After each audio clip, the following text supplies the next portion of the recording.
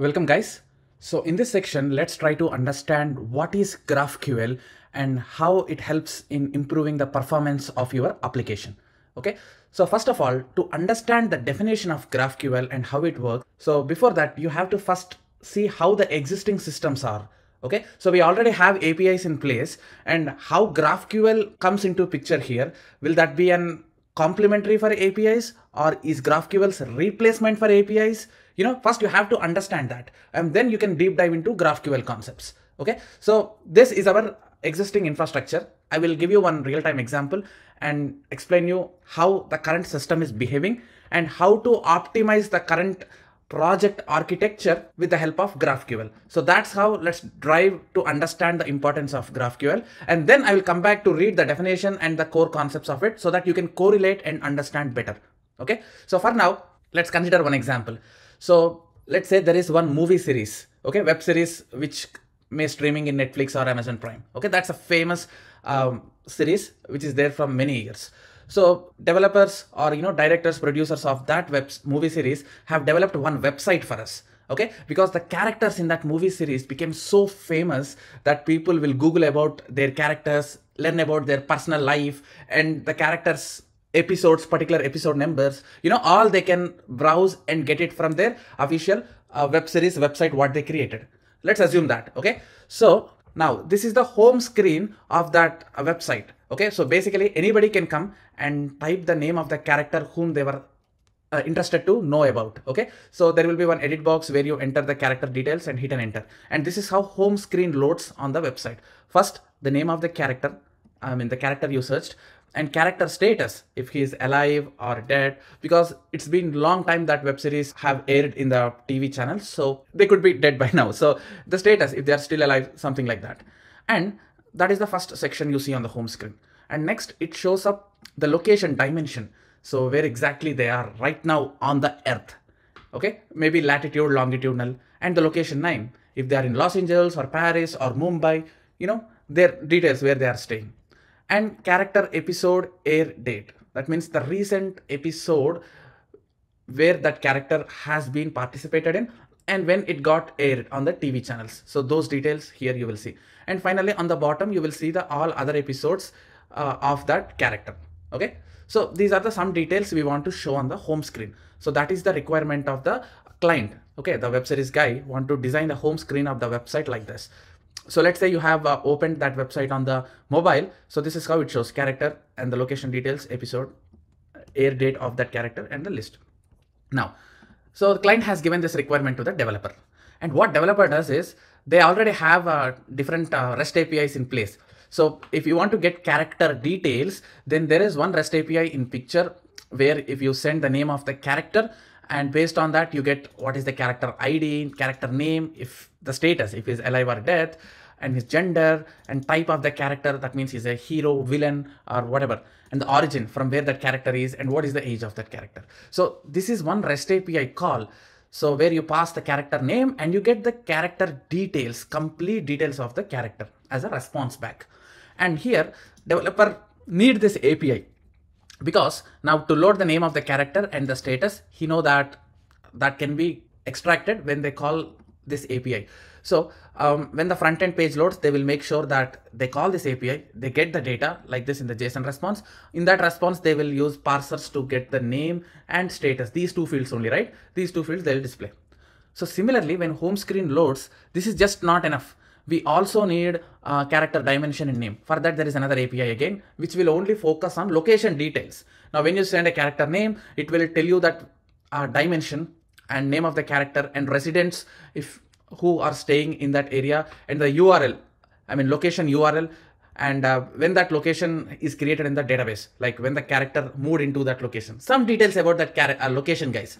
So the one thing you need to observe is if you want to get personal details of the character, then there is one API call. And for location stuff, obviously there will be another, right? So that's how the APIs are there. So basically REST APIs are meant to serve the purpose of its specific domain and episodes see episodes again there will be another api call right you cannot get the episode details in the location for that you know um, there is another api where you can get the character's latest episode air date so when you send the character by id then it will give the what is the latest episode air date, what is the episode, and what are different characters participated in the episode, and the URL of the episode where they can watch, and when that URL, sorry, when that episode is created, right? That particular episode, right? This is one API call. And similarly, so if you shop in Amazon, right, if you buy a product, at the bottom, it will show the suggestion of other similar products, right? In Udemy also, if you buy a course, at the bottom, it will show the other courses which you can interested to. So similarly, the client want on the bottom the other episodes also where they can interested to watch apart from the characters episode air date. So if they got if they want all episodes list, for that there is another API because this API is only to get the episode based upon the latest air date and here where all episodes are displayed. Okay, so what developer realized is there are four APIs on four different domains, characters, locations, episode details, and the whole list of episodes. So when client asks that I need this home screen, then the moment they realize that, okay, to make the home screen load, we have to make sure that we have to call these four API calls and get the data from API calls and then parse it and show on the home page. Okay, so here, um, when we are making the call to the APIs, we don't need all the details because API returns the response with so many details. But in the front page, we just need air date here with this API. Okay, and location, we just need a dimension and a name itself. And here we just need name status. So all that developer has to write parsers in the front end code when they call backend APIs and then finally they construct home screen like this. Perfect. And you will see this is the architecture of, of your project, how it happens when the home screen loads when you search for a character. Okay. So now there are some disadvantages here. The disadvantages is number one, overfetching. Okay. So overfetching means you only need name of the character in the status but your response is giving so many things here back. So because of that, you ended up creating some parser methods where, you know, out of the whole JSON response, you just need these two. So you have to write some POJO classes to parse your JSON or use JSON path to exactly extract them. So similarly here also, and all the three places, though you are getting many details, you just need one or two. Okay, so you are overfetching the details than what is required. So that is one problem here. And another problem is performance issue to load a home screen, you are ending up calling four API calls, right? So obviously there will be a performance issue where the HTTP transfer should happen that you need to send a request and it has to get a response back. All these, you know, four API calls, four API calls should give the response back and it should load on the page. So that's why in e-commerce websites, when you see on home screen itself, you see so many things right? Somewhere one catalog you will see and right side you will profile you will see and the bottom section will be your other details. That means so many API calls are playing a role. Now, when you open a Facebook homepage, how many things you see there? Uh, posts, ads, and the left side your profile and many details, right? That means so many API calls are called and that reduces the performance of loading your page. So these are the problems. So with these problems, what happened is a few years back, Facebook guy have introduced a concept called GraphQL. Okay, so this tries to addresses the problems what we currently saw here. So here we are not reinventing any wheel or reinventing and creating any new APIs here. So what they did is there will be one server side interface. Okay. So this is a home screen. You are still asking the same details, but instead of making a call to multiple endpoints because these REST APIs are sitting in different endpoints, right? So instead of gathering the data from different endpoints, you will make a query to single endpoint. Okay, so this single endpoint GraphQL is responsible to get the data you need from the different places.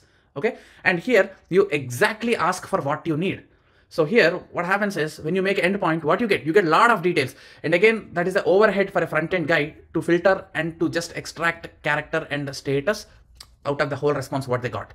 But here you just send that as a query so there is a concept called GraphQL query. There is a syntax, there is some standards to write a GraphQL query. So you send a GraphQL query to the server side and asking that, okay, get me the name of character, character status, dimension, air date list. That's all. These are the details I need. And you send that query information to one single endpoint.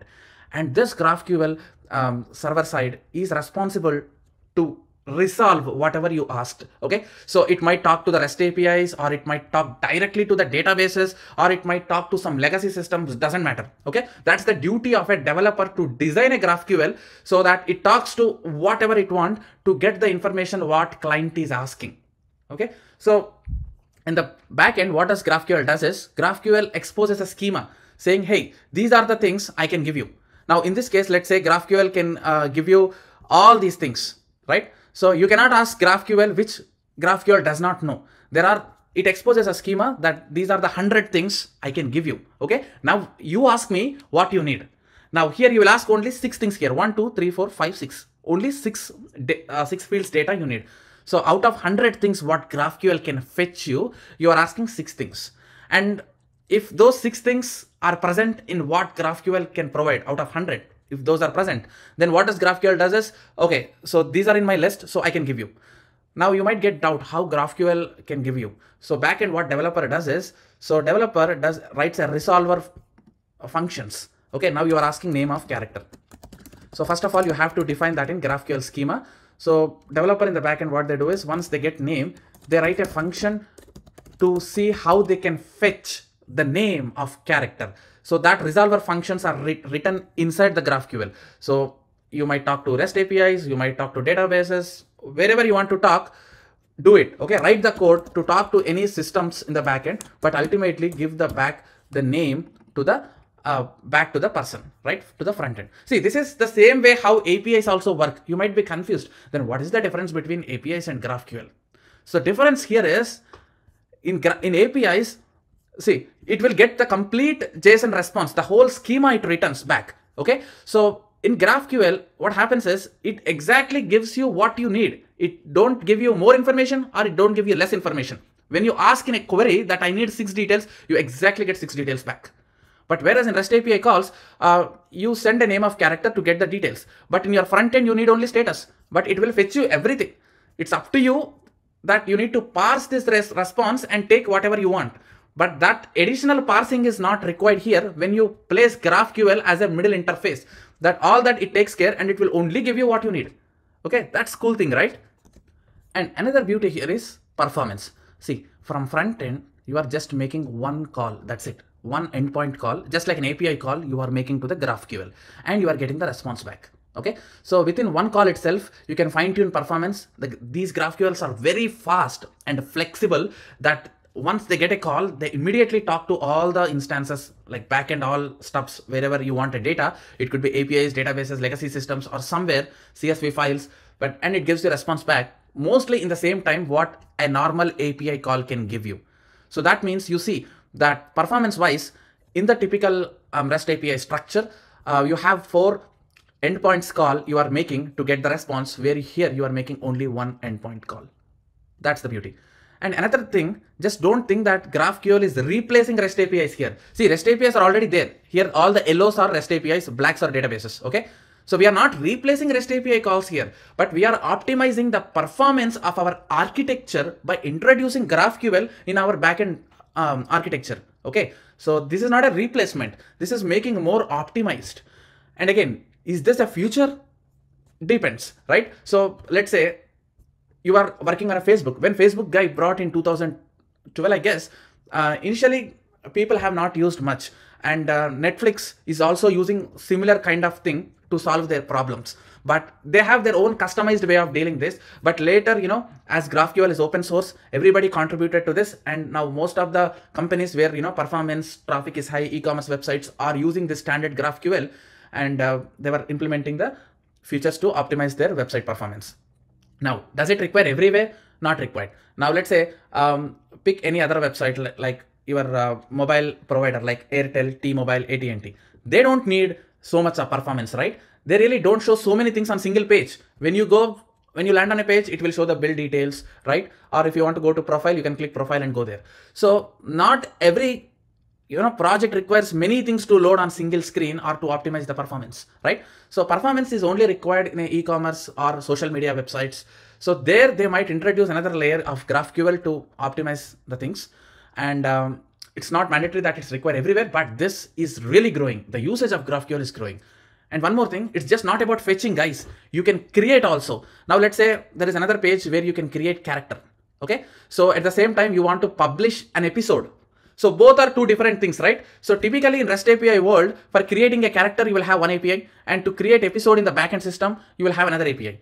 Again, through GraphQL, you can write a query that both episode creation and character creation can go in one single query and you can make with one single endpoint and this GraphQL have the magic of reading your query and when it realizes that it needs to be creating in two different places then it talks to character uh, API and create there and similarly take your data regarding uh, episode from the same query and push to the episode and create it there. Even creation also you can do in multiple places, not just one single domain. You can create a character, create location, create an episode, everything within one single query and one single call and this GraphQL go back and do a magic of placing it in databases of however it uh, created. Okay. So that's how the GraphQL, you know, gaining a momentum. And if anybody asks you what are the main advantages, number one, um, you can avoid overfetching and underfetching and you can ask exact details. And number two, the performance. There are still a lot more things are there, uh, but these are the main things what make people to drive towards GraphQL where the traffic is high. Now, keeping this in mind, let's simply just go through this definition now. GraphQL is a query language. Okay, as I said, you have to send whatever you need in a single query. How to write that query, what is the procedure, what is the syntax that we'll see in the upcoming lectures. It's a query language and also it's a server side runtime. That means this one. This is a server side runtime execution system which can fulfill the queries what you are sending on your existing data. That means these are your existing data. All these APIs, databases, legacy systems where data can be retrieved. Okay. And this is your runtime server side system.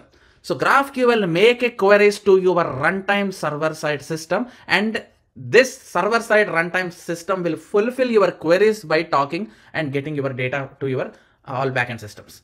Okay. So just make sure that this GraphQL is not any database. It does not store any data. Okay, this is not a storage engine at all. It is just backed by your all code and uh, data systems. Okay, so in the complicated architecture, you might have multiple data sources, right? You might have SQL database, MyServer database, Hadoop, and uh, your data can be in legacy systems and CSV files. A lot of places it can be there okay so it is just bagged. that means it is a supportive system to grab or to insert data but this graphql does not store anything or we can't call it as a database anything any data will not store here it's only just a server side runtime system it fulfill your query to understand it okay so as this is graphql server side system it only can understand graphql syntaxed queries so that's why uh, you need to call this endpoint and send this query so that your request will be resolved Okay, so this is a high level introduction about GraphQL. So in the next lecture, let's learn more details about what is GraphQL schema and how to write a queries. First of all, how to know what are the different things GraphQL supports. Okay, still there are so many loose endpoints which you need to know, but this is a high level explanation. And do remember that this is not replacement to the APIs. This is something, an additional interface to make our uh, life easy. Okay, see you in the next lecture. Thank you.